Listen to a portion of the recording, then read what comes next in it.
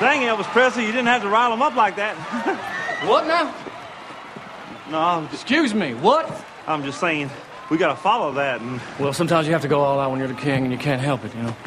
Because there's only one man who's the king. God picks him, hand plucks him. One night, God looked down at all the millions and millions and millions of people, man, and he decided which one was the best. And it was me. And he plucked me from all those millions and millions and millions of people, man. yeah, Listen to this right now. There's two things you need to know. Huh? I'm the king. And number two is look out, man. Look at that. They're coming at you. You see that? It's called karate, man. And only two kinds of people know it the Chinese and the king.